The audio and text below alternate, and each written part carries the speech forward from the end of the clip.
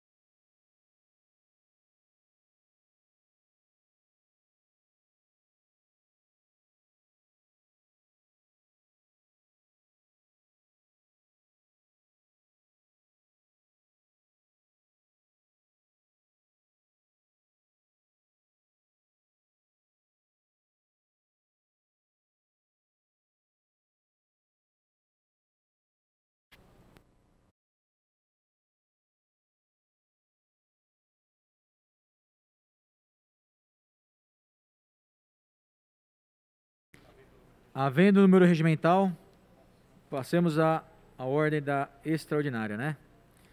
Nos termos da Lei Orgânica de Jundiaí, artigo 37, inciso 1 do Regimento Interno, artigo 87, convoco os senhores vereadores para a sessão extraordinária realizar-se logo após a 19ª sessão extraordinária para apreciação da seguinte matéria. Item número 1, requerimento plenário número 290 de 2020, Cristiano Vec Cássio Lopes, formação de comissão especial para análise da situação econômica do município de Jundiaí diante da pandemia. Requerimento plenário está em discussão. Tem a palavra o autor Cristiano Lopes.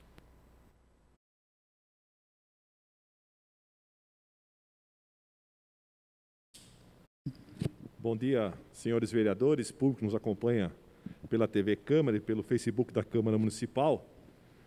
É, hum, hoje estamos dando um, um passo muito importante aqui na Câmara Municipal, mostrando uma responsabilidade muito grande dessa instituição, participando desse momento é, de muita dificuldade que o país vive, não diferente aqui da nossa cidade, no sentido de cuidar dessa epidemia que acontece então em todo o mundo. E as consequências desse, dessa nossa reclusão, desse nosso convívio social já dentro das nossas casas, evitando e tendo possibilidade de irmos aos nossos trabalhos, de irmos a nosso convívio social, esta Câmara Municipal, com muita responsabilidade, então, cria esta comissão especial para cuidar e direcionar, orientar e fazer o papel dessa legislatura no sentido de estar próximo da comunidade, no sentido de unir forças com o poder público municipal executivo e de todas as outras instituições necessárias para que possamos dar início a um trabalho de recuperação da economia do município de Jundiaí. Muito importante salientar que esta comissão tem o papel claro de podermos levar todo o conhecimento das instituições municipais envolvidas, não só no nosso comércio, mas também como desse, desta casa, no sentido de poder agregar e planejar o nosso futuro econômico. Aquilo que nós estamos aguardando e precisando. Nós temos uma economia através do comércio de pequeno e médio, através dos nossos autônomos, que é muito pujante na nossa cidade, porém, num momento muito crítico, num momento muito difícil, todos estão passando por dificuldades no sentido de não estar com seus negócios abertos.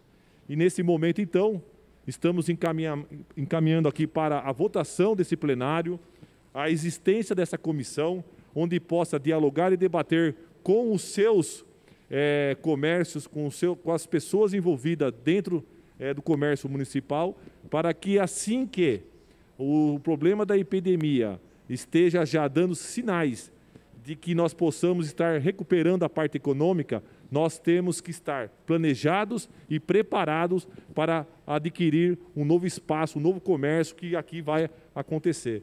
Então, é uma comissão que fará todo o seu trabalho intenso, como tem já feito junto com a epidemia na questão da saúde, através da Comissão de Saúde, e agora na parte econômica, aqui envolvendo cinco, cinco integrantes, cinco membros dessa comissão, mas que todos os vereadores estarão participando efetivamente, levando trazendo informações importantes para a recuperação da nossa economia. Então, por esse motivo, a gente fez esse requerimento é, criando então a, a, comissão.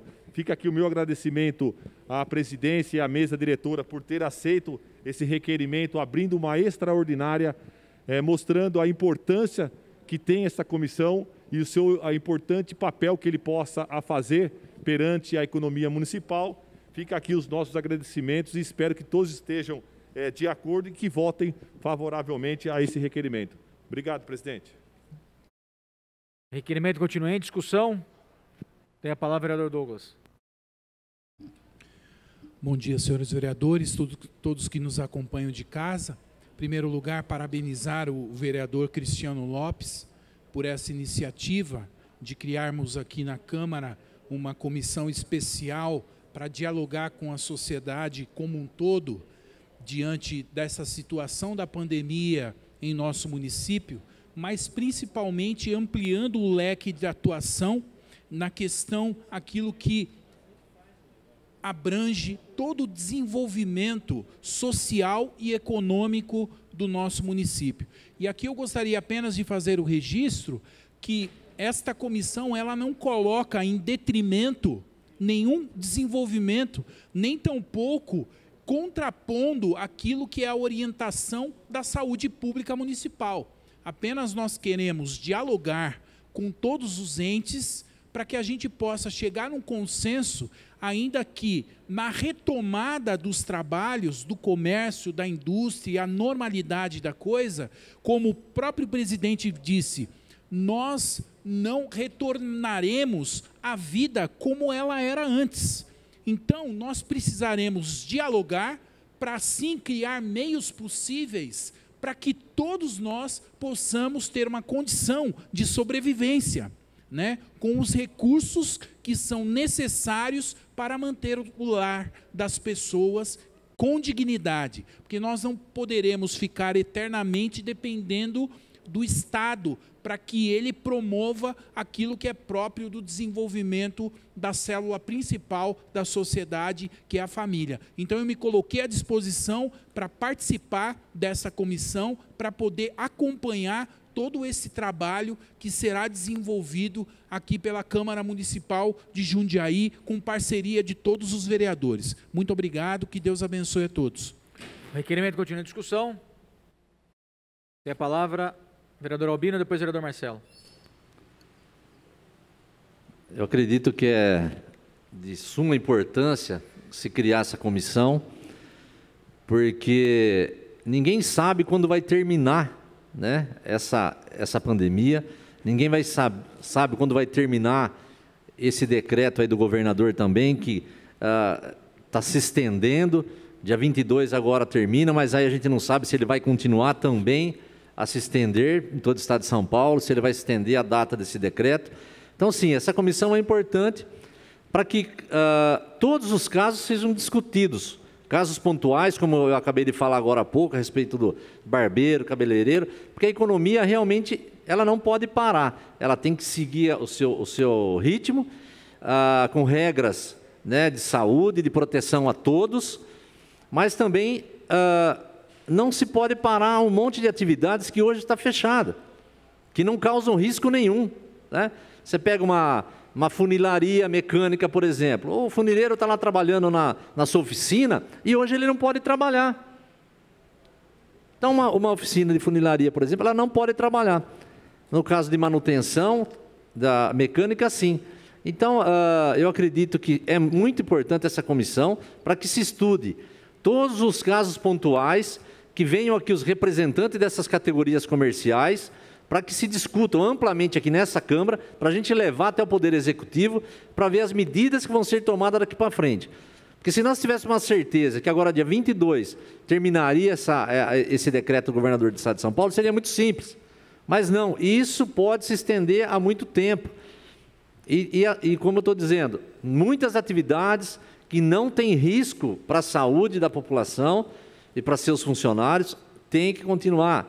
Nós temos que debater isso com critério, trazer o pessoal da saúde para se discutir, pessoal da vigilância sanitária, uh, os infectologistas e principalmente os comerciantes, os industriais, enfim, toda a população. Acho que tem que ter representante, então, nessa comissão, de todos os setores da cidade, de todos os segmentos, e ouvindo todo mundo. Então, são essas minhas palavras da importância de, da criação dessa comissão.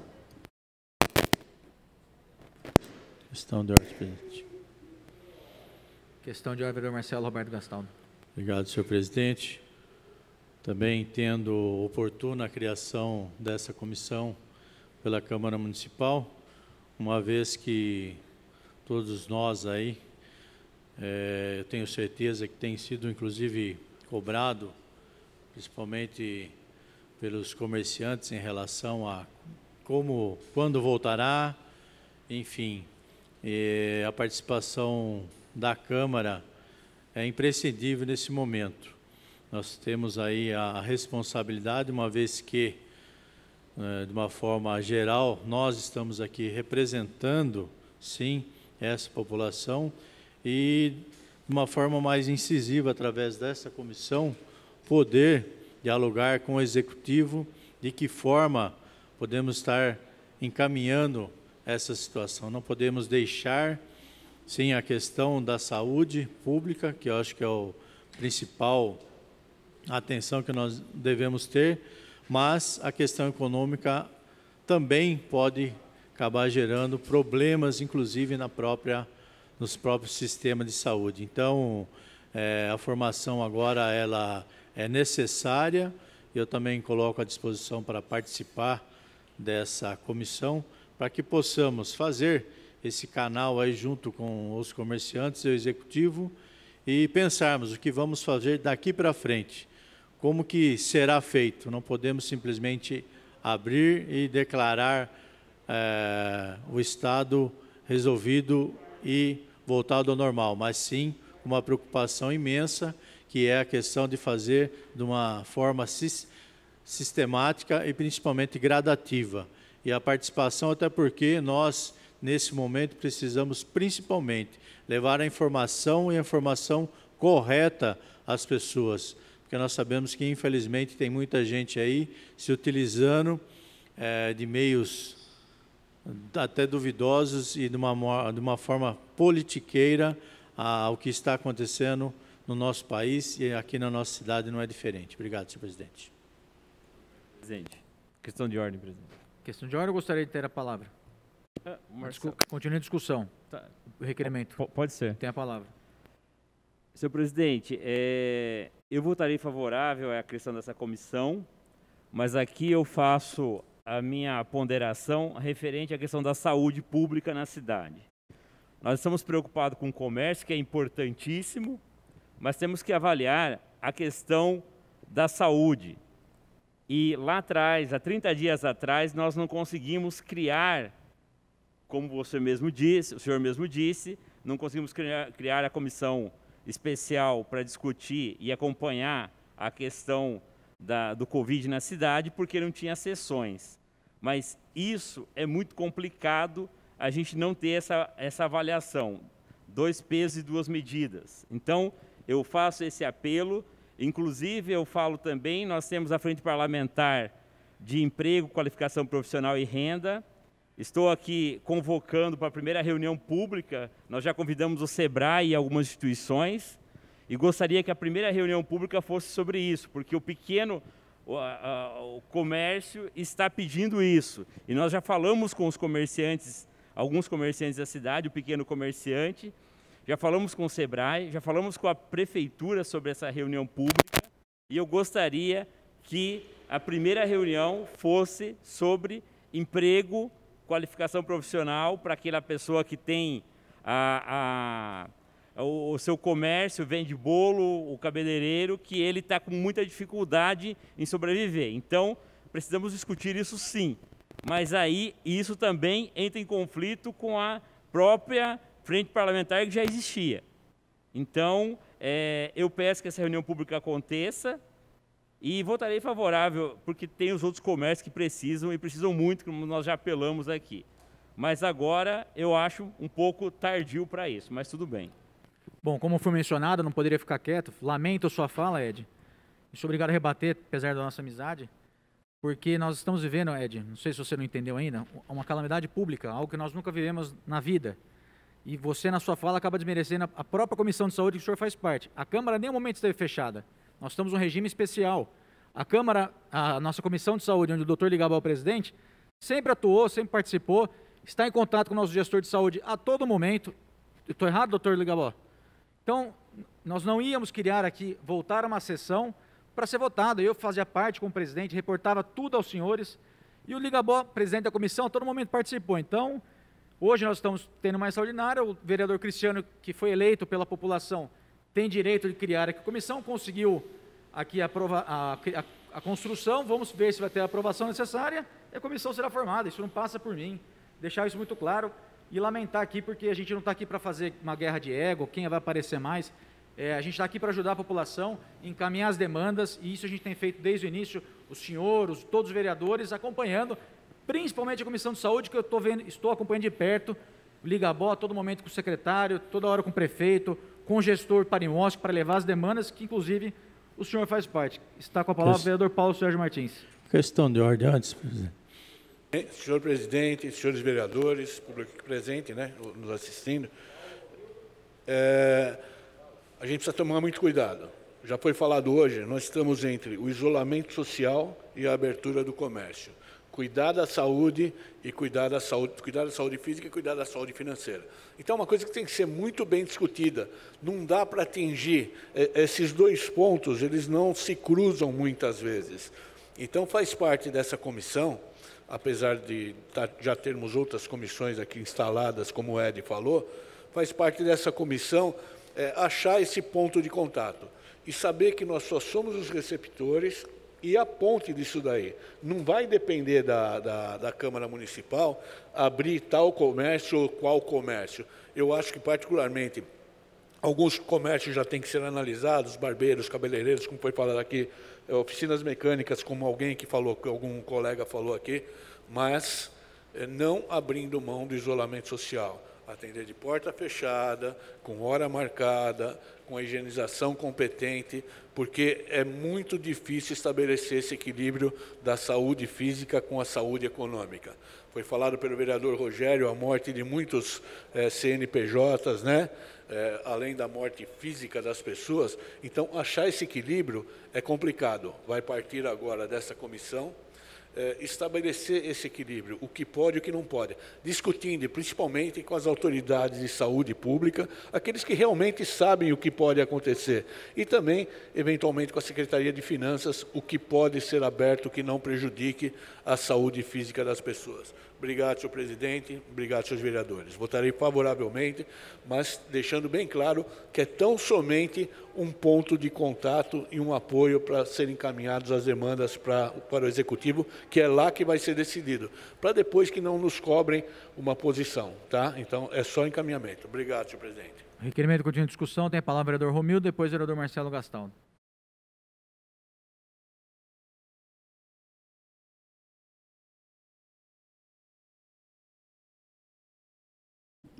Senhor presidente, senhores vereadores, público presente, público que nos assiste, que não tem público, né? É, eu, o Ed Carlos fez uma fala aí sobre a, a comissão. Eu acho que o momento agora, eu acho que quando ele iniciou essa fala, eu acho que ele estava com a razão, só que agora o momento hoje não é mais esse. Né? O momento nós estamos falando do comércio, acho que você tem toda a razão, Edgar, quando não foi criado lá atrás, mas agora está a comissão aí, o Cristiano sugeriu, que é importante aqui para a cidade. Sei de uma coisa, eu também não vou ser irresponsável aqui para falar, não, vamos abrir os comércios, vamos fazer isso, eu não vou ser irresponsável. Porque a gente vê reportagem por aí, e as, as cidades que foi, fizeram isso se deu mal. Então, acho que a gente tem, temos que ser bastante responsável com a nossa fala. Todos vocês têm uma, têm uma liderança, têm uma liderança nos seus bairros, e o, e o momento agora é de cautela. Seria ignorante da minha parte eu não ver isso. Quando você vai, que o Luiz, o prefeito, faz uma fala sobre comércio, ele lá está amparado por várias, por várias pessoas, seja na área da saúde, seja na, pessoas de área técnica. Eu acho que é muito importante, é muito importante o comércio ser fechado, mas também tem a questão do cabeleireiro, que atende com hora marcada, com uso de máscara, tudo certo, que eu acho que dá para... Mas aí, a gente também, quando defende um comércio, nós estamos sendo ingratos com o outro. Né? Nós estamos sendo ingratos com o outro. Por que, que o salão não, não, não abre e o, o outro não, não, não consegue abrir? Então, acho que defender agora a abertura de comércio também é uma irresponsabilidade da nossa parte, porque nós somos ingratos com outros. Então, ah, você quer que abra? Lógico, eu queria que abrisse todos, eu, na minha opinião. Uma parte, vereador. Mas não podemos, só um minuto, vereador, mas não podemos também agir com ingratidão com os outros que estão aí pagando aluguel, que estão lutando para sobreviver. Pois não, vereador Albino. Mas é aí a importância, então, da criação dessa comissão. Ninguém está falando para abrir todos os comércios de uma forma desordenada e sem segurança. Eu acho que essa comissão é importante para se discutir o assunto, né? não é abrir todos os comércios, é, é para se abrir uma discussão em cima de pontualidades. Porque não é porque não pode se abrir um, um, um supermercado, como o senhor falou aí, o Carrefour está vendendo televisão, vendendo eletrodoméstico, vendendo tudo que, na verdade, uma loja que de eletrodoméstico especializada, ela não pode vender. Agora, se o senhor pega, por exemplo, uma funilaria, que entra uma pessoa lá dentro e deixa seu carro para arrumar, você está punindo eh, desnecessariamente. Desnecessariamente. Acabamos de falar sobre o salão de cabeleireiro, dos barbeiros também que ele pode trabalhar com hora marcada. Então não é abrir todos os comércios, é ter critérios. E eu acho que essa comissão, justamente, ela vem e entra nessa questão de critérios. É lógico que não se pode abrir todos. Um salão, um salão de cinema, por exemplo, é inadequado você abrir numa época dessa. Né? Uma escola, por exemplo, também é arriscado você abrir numa época dessa. Mas coisas pontuais têm que ser estudado. Tem que ser estudado, porque senão você está penalizando uma pessoa que ela não transmite risco nenhum. Ou quase, vai, risco zero, né? Vamos, vamos pensar que tem alguma porcentagem? Tem. Mas senão você realmente você está penalizando pessoas que não levam algum, a, a, a, algum risco de transmissão. Você está penalizando uma família, né? Então, eu acredito que essa comissão ela é importante justamente para se discutir essas coisas pontuais. E ninguém está defendendo uma abertura ampla, geral do comércio. Obrigado, vereador Romildo. Muito boa a sua fala, vereador. Mas assim, aí nós começa também a levar para outro lado, entendeu? Nós começamos, por exemplo, se a gente também estudar aqui, tem muitos donos de, de bares aí que estão sofrendo. Se a gente estudar aqui também que ele pode abrir uma portinha lá e vender a lata fechada, o cara passou lá e, e, e pegou a latinha e sumiu, é, também, nós estamos defendendo essa classe também. Então, veja onde, como a gente vai entrando, porque essa mesma pergunta foi um dono de um comércio, de um bar, que falou para mim: eu vou abrir só a porta em cima, não vou atender ninguém. A pessoa que passa lá para pegar uma água, pegar um refrigerante, pegar uma cerveja, ele pode. Então, acho que essa, essa defesa, vereador Albino, como o senhor falou, ela é muito válida a gente debater sim. É importante estar tá discutindo. Então, fica aqui minha fala. Quero mandar um abraço aí para dona Ana Morim, que está nos vendo por o Facebook, e a todo o público que nos acompanha por o Facebook. Mas assim fica essa fala aí que eu acho que vale a pena se debater sim, mas com responsabilidade, não o que o Dória e o, e o Bolsonaro estão tá fazendo. Discussão e briga política. Não estão nem aí para a população. Essa é a verdade que eu vejo. Muito obrigado, senhor presidente. Só fazer uma correção aqui, o Marcelo Gastaldo havia pedido uma questão de ordem e eu acabei dando como discussão. Então, está em discussão o requerimento plenário. Tem a palavra o vereador Marcelo Gastaldo.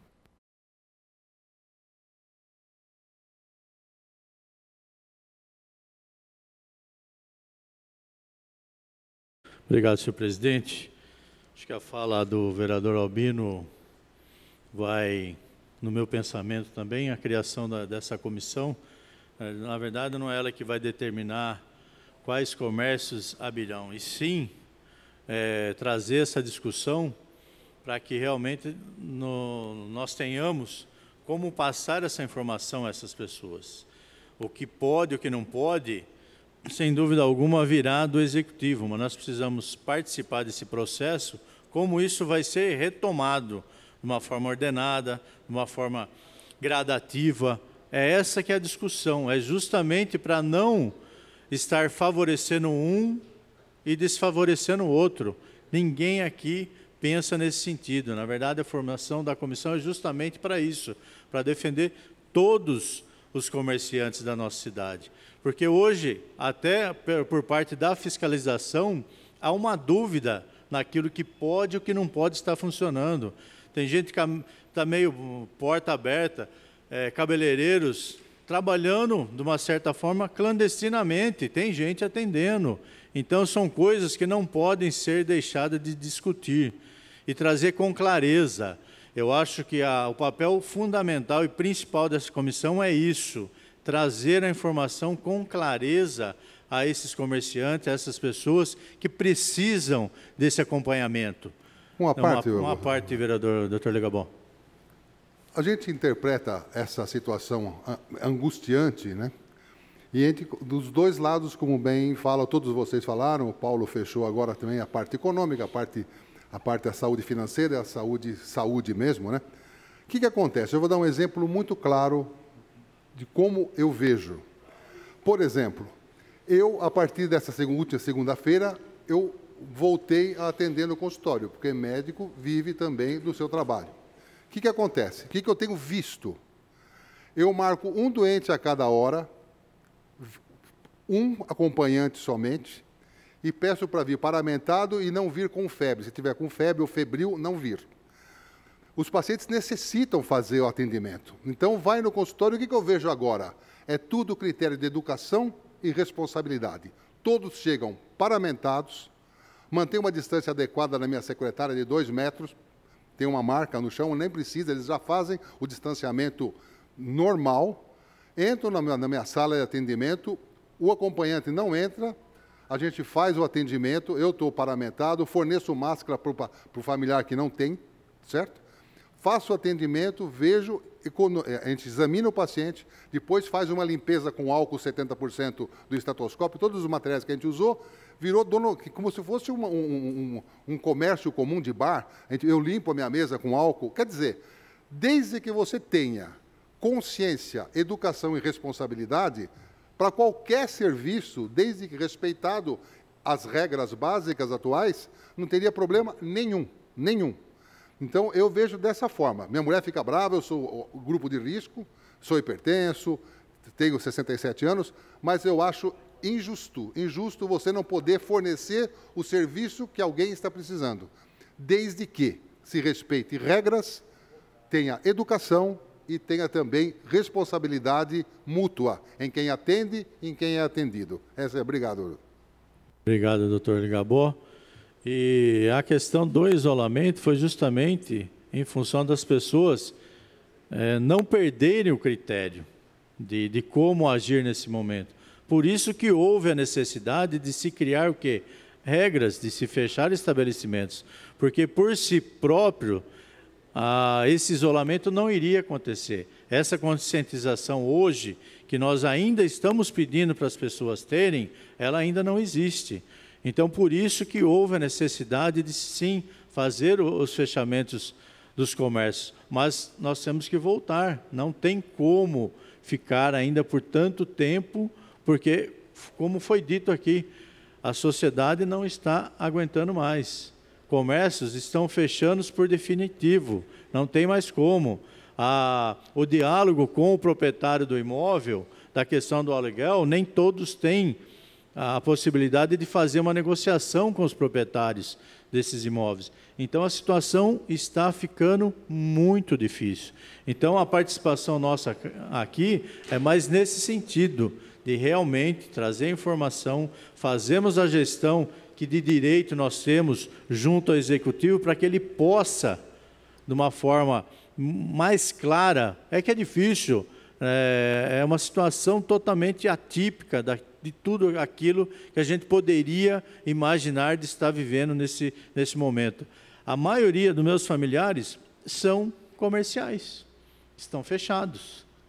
Alguns pagam aluguel, outro é prédio próprio, mas a situação de cada um está apertando. Então nós precisamos sim, e não atuar pontualmente, exclusivamente num segmento, mas no modo geral para nossos comerciantes de Jundiaí, para que possamos caminhar, buscar alternativa de uma forma segura, responsável, com controle e principalmente com muita responsabilidade. Obrigado, senhor presidente. Requerimento continua em discussão. Em votação.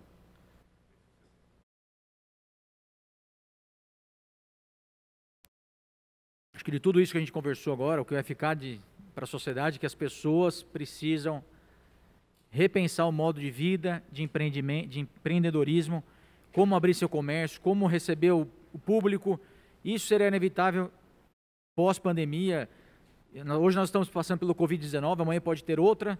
Então eu acredito sim que nós teremos um marco hoje na nossa sociedade com a vinda do Covid, que nós temos que nos reinventar como sociedade. Então, acho que é essa a mensagem que fica.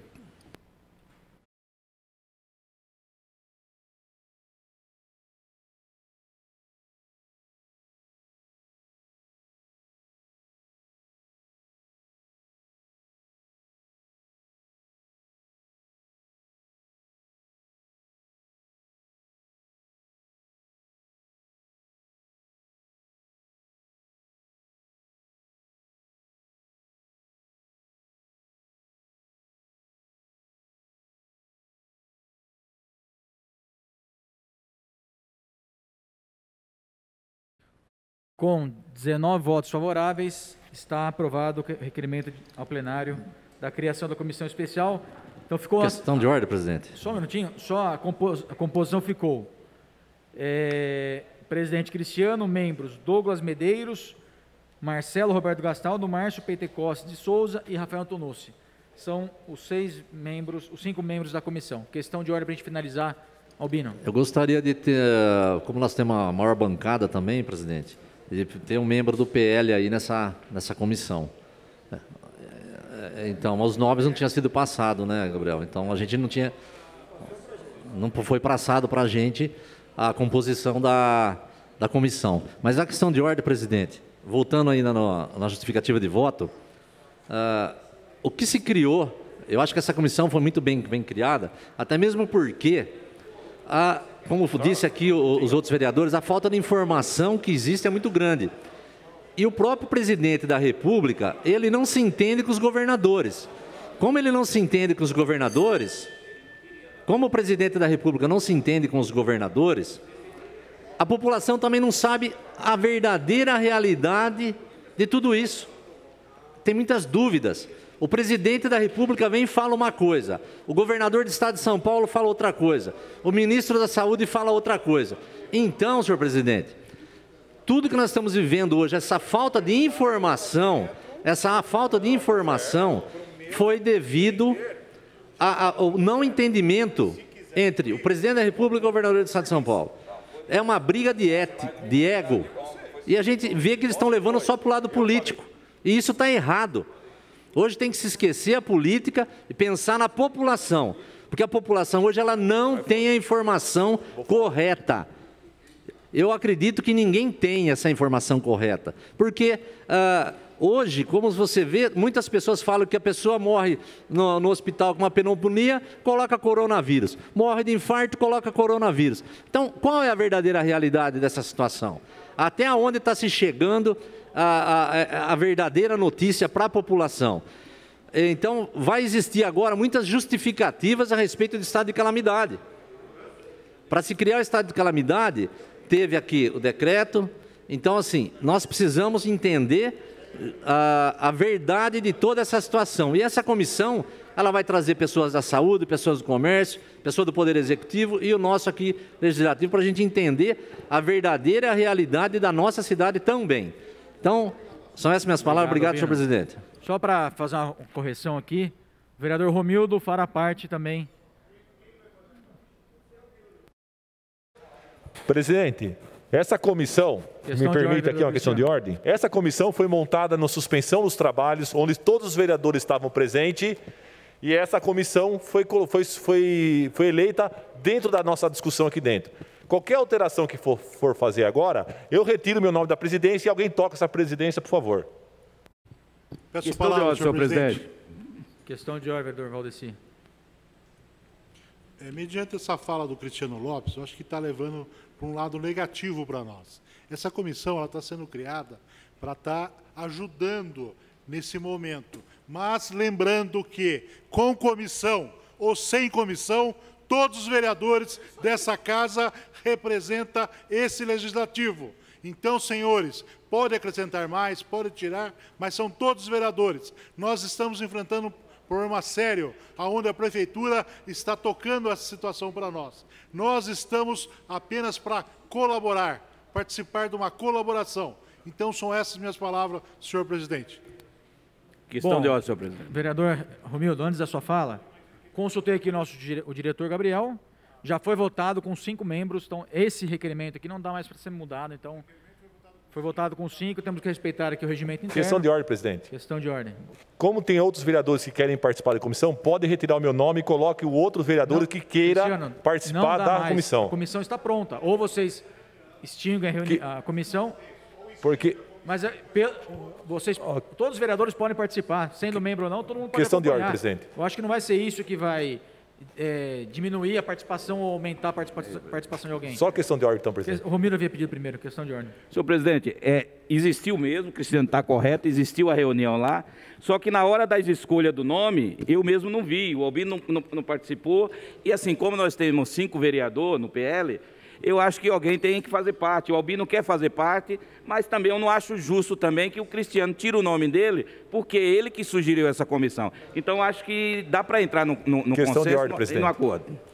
Questão de ordem, vereador Cristiano. Até para esclarecer, como eu disse lá dentro, e tô, eu vou repetir aqui para que o público possa nos acompanhar, a comissão ela está constituída com cinco membros, mas que todos os vereadores vão participar, como o Delano já disse aqui, como nós discutimos lá dentro. É uma, é uma comissão de trabalho, não é uma comissão de política. Então, todos aqui têm o direito de participar, independentemente se está ou não na comissão. O que eu acredito é que quando se faz uma reunião de trabalho, a gente tem competências para determinar e, e, e, fazer com que as coisas saiam do papel. Acho que esse é o motivo. Então fica aqui o convite para que todos participem, independentemente se está oficialmente ou não na comissão. A reunião será aberta para todos que podem, queiram participar. Solicito aos senhores vereadores que registrem sua presença para encerramento da sessão.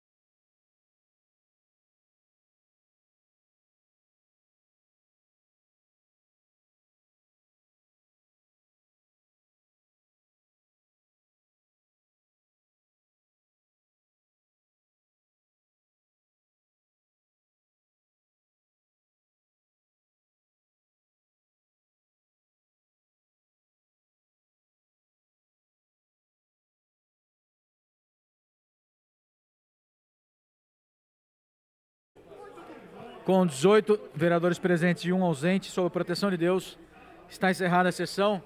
Muito obrigado a todos os vereadores, ao público, aos funcionários, à Guarda Municipal, à imprensa. Uma boa tarde a todos. Deus abençoe vocês.